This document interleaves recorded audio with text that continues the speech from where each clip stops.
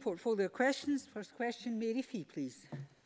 Thank you, Presiding Officer. To ask the Scottish Government whether it will provide an update on the timetable of the merger between Police Scotland and the British Transport Police. Cabinet Secretary. Uh, as set out in the letter from the Minister for Transport and the Islands of the 20th February 2018 to the Justice, Justice, Committee, the joint work carried out by Police Scotland and British Transport Police Authority reviewed progress on operational matters at a workshop in February 2018 and concluded that a number of significant issues remain to be resolved. As a result of this assessment, the Joint Programme Board was advised that further time is needed to deliver integration most effectively and safely for railway passengers, staff and officers. Ministers accepted this advice and that a replanning exercise would take place to establish a new delivery date. This reflects the importance this government places on ensuring that a safe, effective and smooth transition is achieved which delivers continuity of service for real users and staff. The next Joint Programme Board meeting will be held in Edinburgh on 8th of May. Mary Fee can I thank the Cabinet Secretary for that answer? A paper written by the British Transport Police Federation and reported on last week found that the merger of BTP into Police Scotland not only risks creating life-threatening safety issues, but could also cost between 225,000 and 500,000 per officer. Does the Cabinet Secretary agree with these costings? And if not, what have the Government estimated the cost per officer of the merger will be? Cabinet Secretary. Presiding officer, uh, the claimant which the member made reference to, including pensions, that it could cost up to £500,000 per transfer of officer is simply inaccurate. It does not take account of the fact that pension liabilities are met by assets and that schemes are currently fully funded. Actuarial advice uh, shared with the SPA in October of last year uh, states that the pension liabilities are about £97 million pounds and are balanced by £99 million pounds of pension fund assets. So we don't recognise those figures, although I do recognise that the British Transport Police Federation opposes the integration of British Transport Police into Police Scotland. Liam MacArthur. Thank you, Deputy President Officer. Following on from uh, Mary uh, Fee's question, uh, at the point of delay, has the Scottish Government set aside any additional budget um, to address some of the concerns that were uh, raised by the British Transport Police Association and others? Cabinet Secretary. Well, President Officer, uh, for the very reasons I've just outlined to Mary Fee, uh, we don't recognise the figures which they have uh, produced, and we've set out the reasons for that.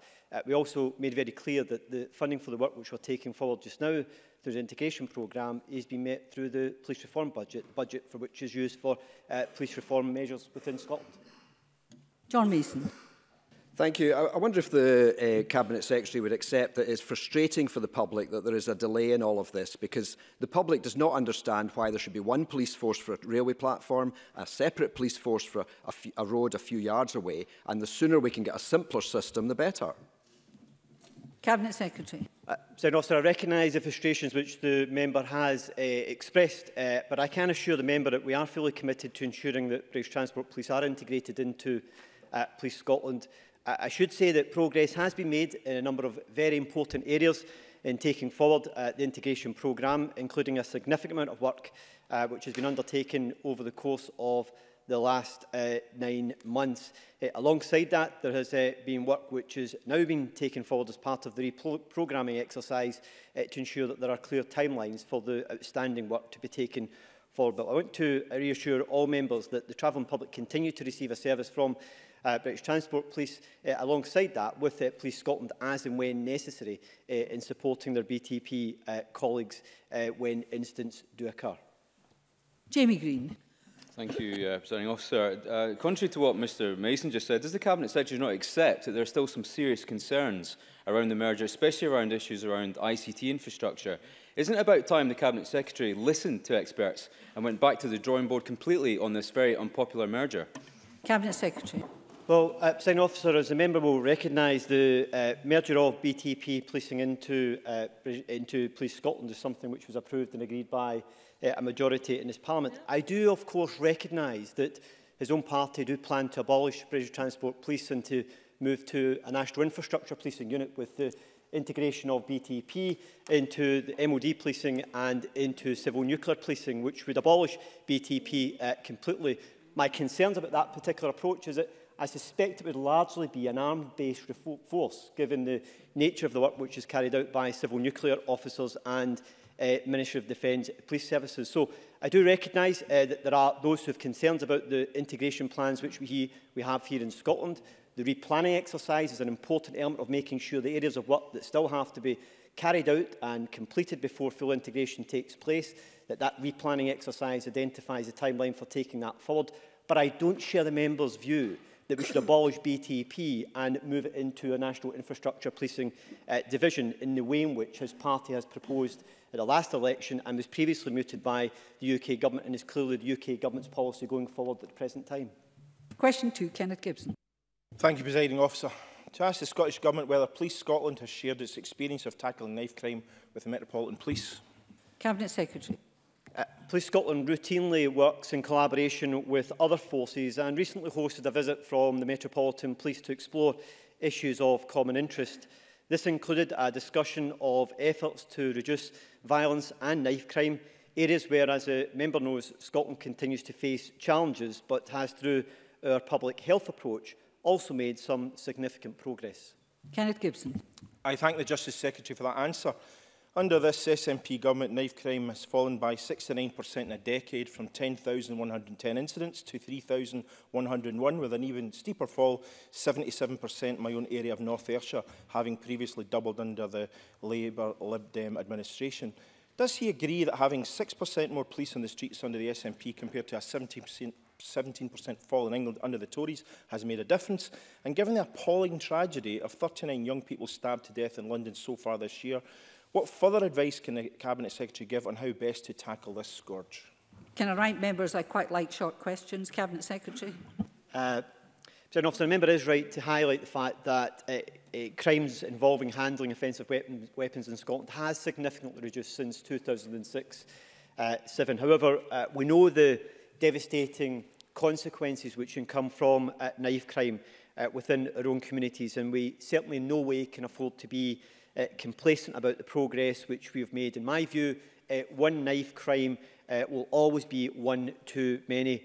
So alongside the very tough enforcement action which we have taken uh, in our approach to tackle knife crime, we've also had a very firm focus on prevention and early intervention, which has no doubt played a significant role in helping to reduce knife crime in Scotland, including to the levels which uh, the member made reference to in his own constituency.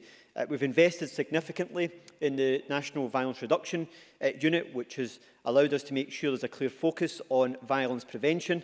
Uh, this has also included the development of Medics Against uh, Violence, a prevention programme uh, which has been delivered in uh, some of our schools in Scotland and also the Mentors in Violence Prevention programme which has now been delivered in schools across the country to teach young people about the, uh, the risks and the dangers um, of violent crime but also to promote healthy relationships and to help them keep safe. Alongside that, specifically on knife crime, we have the uh, No Knives Better Life uh, Youth Engagement Programme, uh, which specifically aims to reduce the instance of violence and knife carrying amongst young people. And this has now been delivered in 24 of our local authorities and is on track to be delivered in all 32 of our local authority areas this year. So, President Officer, as we have made good progress in the course of the last 10 years, I can assure members we are absolutely focused on continuing to bear down on violence and in particular knife crime in Scotland and our prevention approach is one which we have reaped the benefits of in recent years and we will continue to invest in in the years to come. Question 3, Willie Coffey. Thank you. To ask the Scottish Government what progress the Scottish Sentencing Council is making with guidelines on sentencing in relation to deaths caused by driving. Cabinet Secretary. The Sentencing Council is an independent body. However, my officials have been in touch with the Council in connection with this question, and I can confirm that the Council have advised that a subcommittee has been established to consider the development of the guidance in relation to deaths by driving. This subcommittee will be responsible for the development of the guide guidelines, including considering the specific timing for development of the guideline uh, with research, uh, what research will be needed and what data, uh, presently available data, is held. Uh, this area of law is, of course, reserved, and it's also worth noting that the UK government consulted in 2016 to changes to the maximum penalties for death by driving cases. And uh, then they announced in October 2017 that legislation would be introduced to increase the maximum penalties for certain death by death by driving offences. This announcement can, of course, be expected to impact on the timing of a development of the guidelines by the Scottish Sensing Council. Uh, Willie Coffey. I thank the Cabinet Secretary for that answer. He will be aware of the tragic case of my constituent William Murray, who was killed as a result of a motorbike accident in 2013. The other person involved was convicted of careless driving, given a community sentence and banned from driving for five years, but flouted that ban last November and was given another community sentence. What assurance can be given to William Murray's family and other families that the justice system will take full account of previous convictions and recommend custodial sentences for repeat offenders under any new sentencing guidelines? Cabinet Secretary. President Officer, I'm aware of the case, having met with the uh, constituency member to discuss the matter, but he will also appre appreciate that Um, I'm uh, not able to comment specifically on any individual case, uh, although members will recognise that the courts uh, do take into account all the relevant facts and circumstances when it comes to making decisions on uh, sentencing, and that includes uh, the fact that they are dealing uh, with someone who may be a repeat offender. Uh, of course, in any given uh, case, uh, these are decisions for the court to make, uh, informed by the information which is provided to them uh, by the prosecution and also by the defence. Uh, and I can understand why victims and their families are keen to understand how sentencing decisions are made uh, and that uh, the, the, the reasons as to why uh, the court has come to a particular determination. And that's one of the reasons why transparency in sentencing uh, is important and why we established the Scottish Sentencing Council uh, and why the work that it's taking forward will be important in encouraging greater transparency around sen sentencing decisions. Daniel Johnson. Thank you, Presiding Officer. The publishing of sentencing guidelines for the first time this autumn represents a real opportunity to improve public understanding of sentencing and how it works. And while I recognise the independence of the Sentencing Council, can I ask what representations the government have been making to the council so that we can ensure that guidelines uh, lead to transparent, understandable uh, sentencing and reflect the seriousness of the crime in general? Cabinet Secretary. Uh, President Officer, uh, as a member it, uh, it uh, mentioned in his own uh, question, is, is an independent body and responsible for taking these matters forward uh, on uh, the, in the manner in which it sees as being most appropriate. It does consult the Scottish Government on its draft business programme. However, the content of that is a matter for the Scottish Sentencing uh, Council. Uh, once they've completed the delivery of any uh, work to establish new uh, sentencing guidelines, it will then be a matter for the Scottish Sentencing Council to determine how they take that forward. I would expect that to be taken forward uh, in partnership with the judiciary, including the Lord President, in ensuring that our senators are aware of the new guidelines uh, once they have been implemented. And they can have uh, support in that work through the Judicial Institute, which is responsible for helping to support the training of our sentences. However, decisions in taking that forward is rightly a matter for the Sc Scottish Sentencing Council, uh, and I don't think it would be appropriate for government to start intervening in how they take these matters forward and also how they then disseminate that information once their work has been completed. Liam Kerr. Thank you, Presiding Officer. The Scottish Sentencing Council was formed in October 2015, which is now two and a half years ago. Guidelines were promised on death by driving in October 2016, one and a half years ago, yet only now are we seeing some action. The SNP also promised action to crack down on drug driving last September after pressure from the Scottish Conservatives. So can I ask the Justice Secretary what progress has been made? Cabinet Secretary. Sound Officer, clearly the member doesn't understand how the Scottish Sentencing Council operates on the basis of it's an independent body which is headed up by the Lord Justice Clerk uh, with a range of experts uh, who are appointed to it for their purposes to support them in drafting guidelines for our uh, courts and our sentencers. And the member may wish to reflect on that in understanding how it operates. In relation to uh, drug driving, the member will be aware, uh, although he may not be aware given he was not a member of the Parliament at the time when this decision was made, is that we made a decision on the basis of the recommendations that came in relation to both uh, drink and drug driving uh, about the priorities that we would set in adjusting uh, the existing uh, or the, the previous uh, drink driving rate or introducing uh, new provisions for drug driving.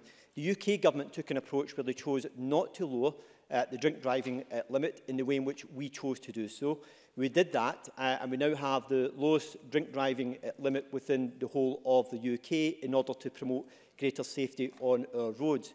We said at that time, once that work had been completed and that had been embedded with Police Scotland operationally, we would then turn to the introduction of drug driving tests. That's exactly what has now taken, been taken forward, uh, and that work has presently been undertaken in partnership with Police Scotland.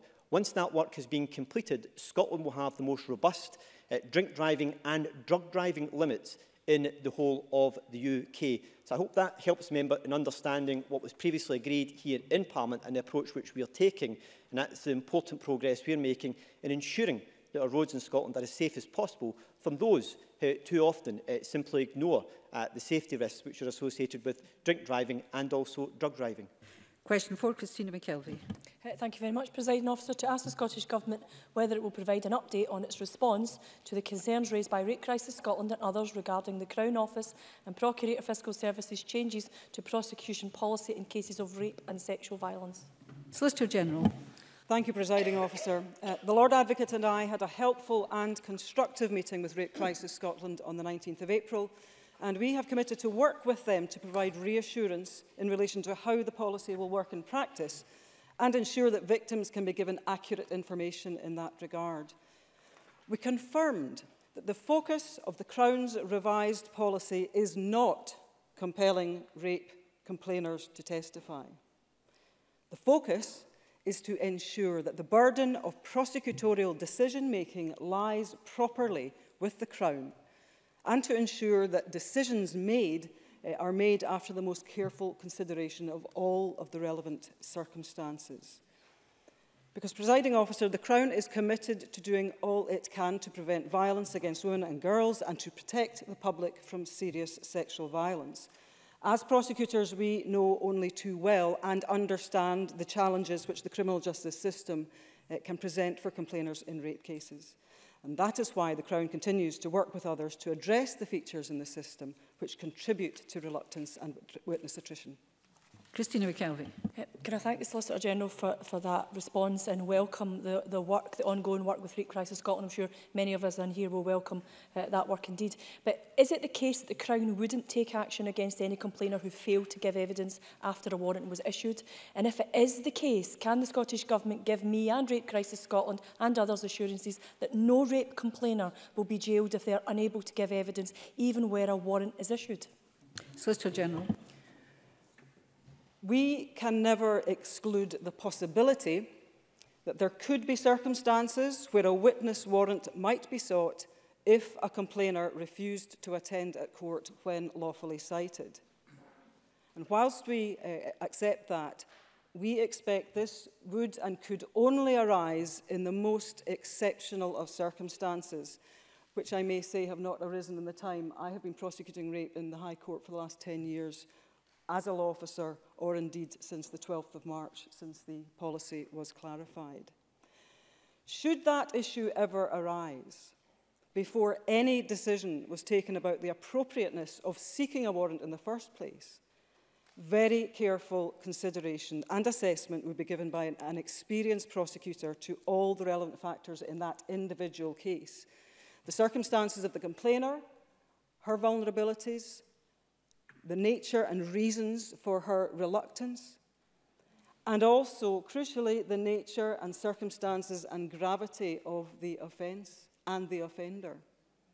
Only after considering all of these uh, circumstances will any decision be taken. And I may say this will be a, an assessment which is one of many conducted through the entire process. So we will take careful account of the risks of not proceeding against a particularly dangerous accused. But the complainer's views, her welfare and her interests are at the heart of the Crown's prosecution policy in relation to reluctant complainers.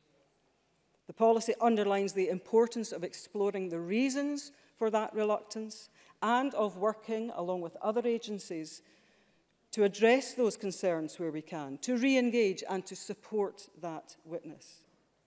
But all of that means in practice is that there will continue to be cases where, taking account of all of these relevant circumstances, the right thing to do is not to take proceedings or to discontinue them. Now, I, can I say, I've only managed to get to question four, and I'm going to take two brief supplementaries on question four, but I want to say that it is important that not only, I say this the entire chamber, that questions are short, but answers are succinct as well. I appreciate one has to be very careful, particularly in justice issues, with the answers that are given, but to only reach question four. So I'd ask those who've been in here today speaking to look at the time they've been on their feet, because next time I'm in the chair for it, I will intervene if answers as well as questions are too long in order that we can at least let other members get in. Because reaching question four is not good enough in my book. But I'll now take Kezia Dugdale on a supplementary on that question. Please make it brief, to be followed by Margaret Mitchell with a brief supplementary, and please, short answers. Thank you. Can I ask the Solicitor General what further work is undertaken to support uh, rape victims during the court process with specific regards to the length of time it takes cases to get to trial and indeed the number of delays that victims face? Solicitor General. Thank you. There's a lot of work going on, uh, most notably in relation to reduction of the pre-petition workload, which contributes to a delay, the journey time from report to trial. We have reduced the number of those cases from 700 in 2016 to 200 today. We continue to um, act on feedback from Rape Crisis Scotland directly on the, the lived experience of complainers and have changed our practices already in that regard. And we will continue to work with others in the system to address those system-wide features that contribute to, to delay and the other circumstances that contribute to reluctance and attrition. Margaret Mitchell. Uh, can I ask the Solicitor General uh, to confirm how many rape victims have applied for legal aid and been accepted um, to oppose the disclosure of sensitive, uh, sensitive medical re uh, records and also what advice the uh, Crown and Procurator Fiscal gives to these victims that this option is available? Solicitor General. I don't know the numbers and advice is given in that regard.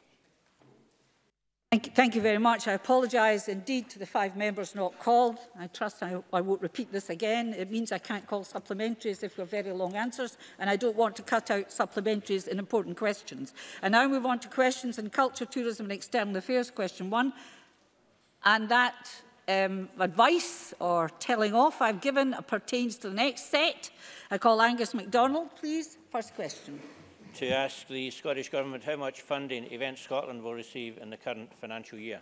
Cabinet Secretary.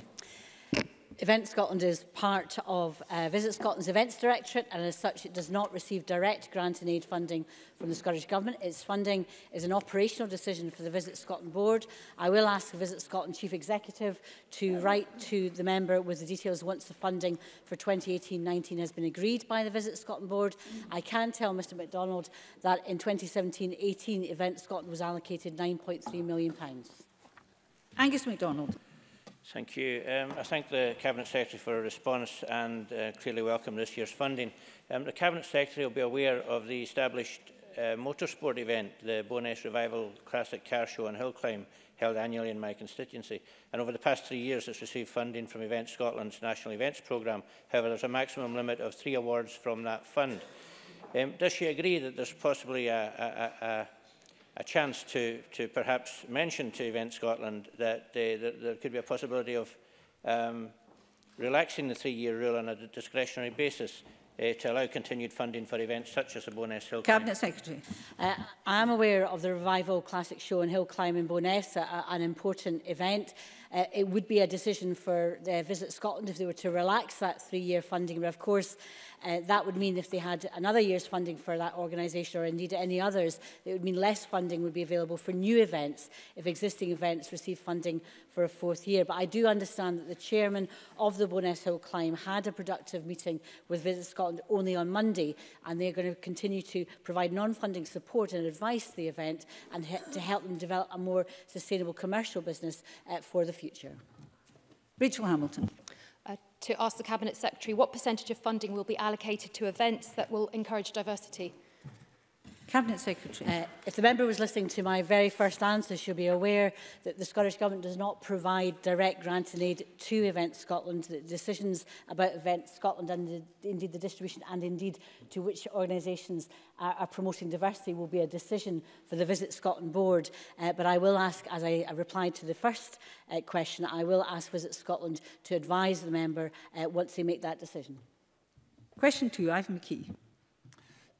to ask the Scottish Government what scope there is through its International Development Fund to support projects that are not in its four partner countries, Malawi, Rwanda, Zambia and Pakistan. Minister. Our new international development strategy, published in 2016, focused uh, our work on, uh, as member said, four partner countries with which we have strong historic and contemporary links to ensure our £10 million international development uh, fund has the greatest impact. Scottish-based organisations working in any country whose human development scores medium or low on the current United Nations Human Development Index are, however, eligible to apply for our small grants programme for feasibility or capacity building grants of up to £10,000. Ivan McKee. I thank the Minister for that answer and I agree with the strategy of focusing on four countries to ensure maximum impact. However, retaining flexibility to fund projects in other countries enables us to respond to and support specific needs as they arise. As the Minister will be aware, I recently visited Palestine, a country badly in need of development support. I would like to ask the Minister if he would meet with me to discuss specific projects in the occupied West Bank that would benefit from some limited Scottish Government funding support. Minister. I'm more than happy, of course, uh, to, to meet the member, to hear uh, his, uh, his uh, concerns and wishes to raise around uh, uh, that issue. Um, I just want to mention, possibly in passing too, however, that uh, we have provided in the past one-off uh, funding, uh, humanitarian funding for Gaza. And also the Scottish Government has sought to be helpful um, to firefighters in Scotland who were seeking to provide uh, or make sure a fire uh, engine made its way to Palestine to, to uh, assist people in that part of the world too. Question three, Jeremy Balfour. Representing Officer, to ask the Scottish Government what discussions it's had with Creative Scotland regarding the appointment of a head of a new screen unit. Cabinet Secretary. Uh, the recruitment of the Executive Director of Screen and Creative Enterprise is a matter for Creative Scotland. Uh, Creative Scotland updates Scottish Government regularly about progress with the Screen Unit, including on recruitment at Project Board and Screen Committee meetings and at the routine meetings they have with sponsored department officials. I am also updated in meetings with them. Creative Scotland has invited the Scottish Government Director for Culture, Tourism, Major Events to sit on the selection panel. Yes, Jeremy Balfour, please. Uh, thank you. Can I thank the uh, Cabinet Secretary for her answer? Will the Cabinet Secretary commit to regular meetings and will she also report back to this chamber of how those meetings go? Cabinet Secretary. Um, well, uh, I have regular meetings with Creative Scotland. I actually reg my, my communication to parliamentarians is normally via the convener of the relevant committee and indeed on the 8th of March uh, there was a letter from Creative Scotland to uh, that committee making sure that they were aware uh, of the developments and the progress. So if the member has a, a particular interest in following this, I suggest he might look at the, the papers and the publications that come from that committee as they are open to, to every parliamentarian in this committee. Claire Baker. Um, thank you. As the Cabinet Secretary will be aware, the Culture Committee has undertaken an inquiry into the screen sector, including scrutiny of the new screen unit. Is she confident that the governance arrangements under the head of the new screen unit will work, who will work underneath Creative Scotland, are appropriate for meeting the specific needs of this sector? Uh, Yeah, yes, Cabinet I, Secretary. Uh, yes, I do. And indeed, in the letter that went to the, the committee itself, we, the, uh, and in my uh, response to the committee as well, in terms of my correspondence, was set out that one of the things that we think is absolutely crucial is that there are Creative Scotland board members appointed that have screen experience. Those adverts are about to, to go out. And also in terms of the governance, uh, lead members from within the screen sector themselves, uh, very respected members, will be part of that governance arrangement as well. And that's something that has given confidence to, to me, but also uh, to others in the screen sector. And I call the breathless number four, Bob Doris, who's just arrived in town. I uh, certainly have, presiding officer. I, I, I apologise for getting my timings wrong. I know that was my responsibility to ask the Scottish Government how it supports built heritage in the Glasgow, Maryhill and Springburn constituency. Uh, Cabinet Secretary. The Scottish Government supports built heritage across our communities through the lead uh, public body Historic Environment Scotland. Uh, Maryhill, Maryhill Borough Halls was restored in 2012 with help from public funds awarded by the former Historic Scotland and the Scottish Government. Bob Doris. I thank the Cabinet Secretary for that answer. Can I point out that Springboard's been blighted by the loss of a number of buildings of heritage over the years, but the A-listed Winter Gardens in Springburn Park remains a wonderful asset despite being on the buildings at risk register. The Springburn Winter Gardens Trust is making an ambitious large-scale heritage lottery fund bid to save and repurpose the Winter Gardens for future generations, a defining moment in the project's future. Can I ask the Cabinet Secretary to offer her best wishes for the bid and can I extend an invite to visit the Winter Gardens and hear more about these ambitious plans? Cabinet Secretary. Uh, I certainly can provide my best wishes uh, for those uh, and the local trust that are looking at the A-listed glass house in Springburn Park, the Winter Gardens there.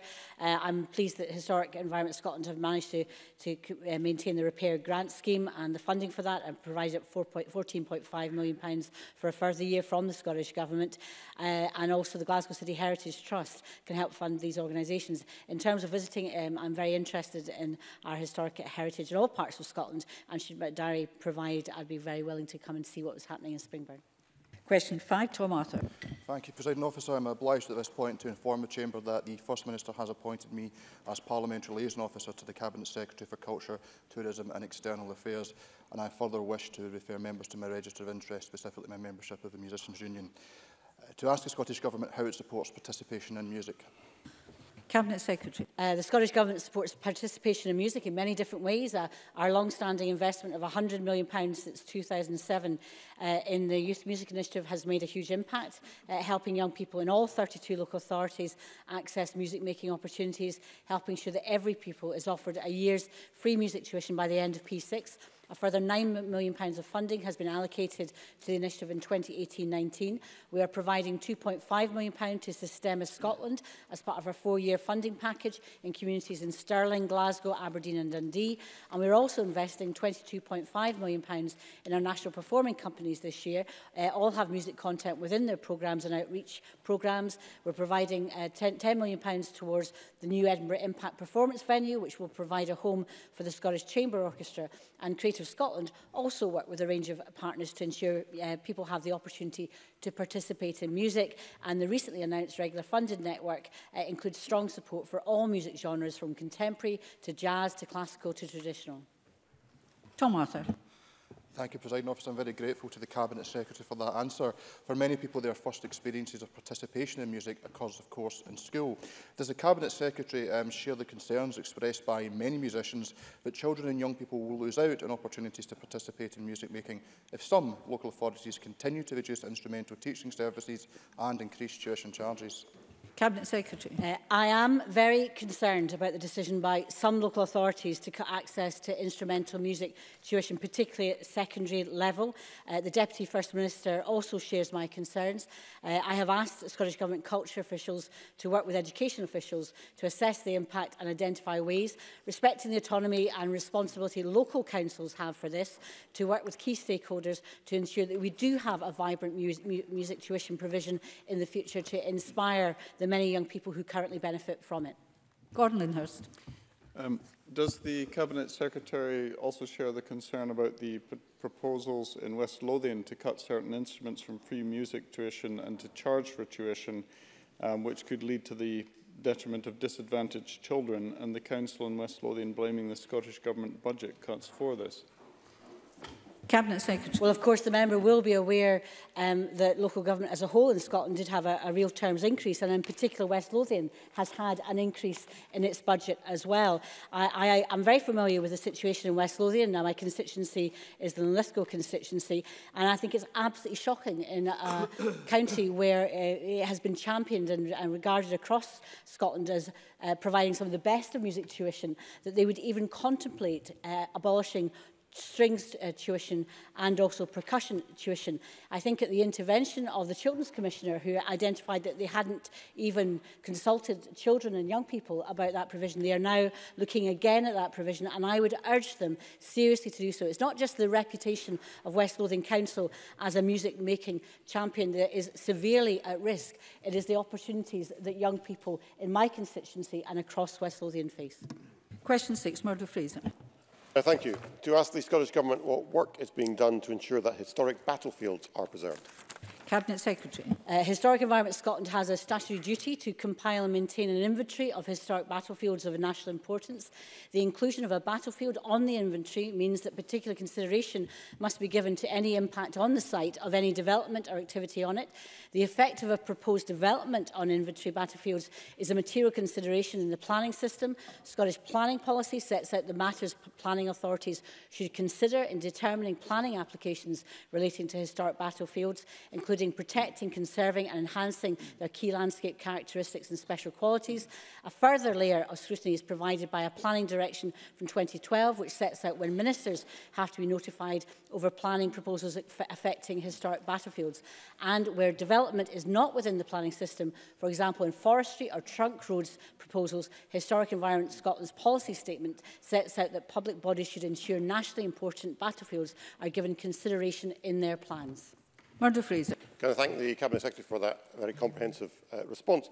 She will know that the success of the Outlander books and TV series has caused a renewed interest in the Jacobite period, and yet at the same time two important Jacobite battle sites are being threatened by development, one being Culloden, the other being Killiecrankie in the area I represent, where plans by Transport Scotland to extend the A9 dual carriageway to the south would cover what is the most sensitive part of the battle site where most of the casualties were uh, incurred. This is particularly unfortunate as there is a viable alternative to extend the A9 to the north side with a lesser impact. Would the Cabinet Secretary accept that if these plans at Killicankee go ahead, then the protections that she just outlined in her answer will be exposed as worthless? Cabinet Secretary. Well, I am aware of those two developments, in particular in relation to uh, the A9, uh, something that in terms of the development of which is something that uh, the Scottish Government is pursuing and I think will make a, a transformational difference to uh, the transport between uh, Inverness um, and the south. Uh, he will, however, be aware that in that particular instant, in instance, Scottish ministers uh, will be called upon to determine this case uh, in due course and it's not therefore appropriate for me to comment on the proposals or indeed the objections that have been raised, but he will be aware that Historic Environment Scotland themselves themselves, as part of the process I outlined in, his, um, in my original answer, have already made their concerns about the issue known. Question 7, Peter Chapman. Government, what action it is taking to encourage more tourists to visit Orkney and Shetland? Cabinet Secretary. The Scottish Government fully recognises the importance of tourism to the economies of both Orkney and Shetland. The numerous attractions of our Northern Isles, for example, UNESCO sites of Neolithic Orkney and Jalsoff on Shetland, are actively promoted by Visit Scotland through its many marketing campaigns. They are also directly support the sector to ensure that they maximise the potential from tourism. Other public bodies also play a key role, uh, Highlands and Isles Enterprise uh, and also Historic Environment Scotland and Scottish National Heritage, promoting and enhancing the area's natural environment, and also recognising that the popularity of sites on the islands and other rural areas brings challenges to public infrastructure. We launched the Rural Tourism Infrastructure Fund last year to address these issues, and one of the fund's pilots last, announced last month was £80,000 towards car parking at the Stones of Stennis, providing much-needed facilities at a popular, popular Neolithic site. Peter Chapman. Uh, I thank the Cabinet Secretary for that answer. In its 2016 manifesto, the SNP pledged to reduce ferry fares on services to Orkney and Shetland. Now, last year, the Minister stated that these fare reductions would be rolled out in the first half of 2018, saving visitors up to £100. With only 10 weeks until this timeframe ends, surely the government has some plan in place, or is this just another SNP broken promise? Cabinet Secretary. Can I politely point out to the member that I am the Tourism Secretary. I'm not the Transport uh, Minister. The Transport Minister, I can reassure the member, is actively involved in this issue uh, and I'm sure would be more than happy to update the member appropriately. But it's, uh, I think he should be taking the opportunity here and now in tourism questions to champion Orkney and Shetland, the wonderful uh, sites that they have, instead of complaining uh, about uh, an issue that he knows that I can't answer. Liam MacArthur. Thank you. Can I start by thanking the Cabinet Secretary for giving a tour de force of the tourist attractions in my own uh, constituency as well as Shetland? But can I ask her to join with me in impressing upon her colleague, the Transport Minister, who will be in Orkney and Shetland uh, this Friday and Saturday, to come armed with a timeframe for the delivery of the uh, ro road equivalent tariff that has been promised for our life lifeline ferry services? Cabinet Secretary. Well, I, can I say we have a very proactive and committed Transport and Islands Minister who takes every opportunity to make sure that uh, departments across government know of the importance of transport links and indeed uh, the importance of tourism and the island economies as well. So I'm sure, as I've just replied to the previous member, that we will be able to make sure that he is updated appropriately. But again, for the second time, I can tell him that the Transport Minister is actively engaged in this issue and will communicate communicate at the appropriate time, as he has a responsibility for ferries. I'm uh, afraid that concludes uh, questions, portfolio questions on culture and tourism. And I apologise to the three members I was unable to call, but it was a darn sight better than the previous session. Thanks to, thanks to the questions and the short answers. We'll have a short break as we move on to the next item of business.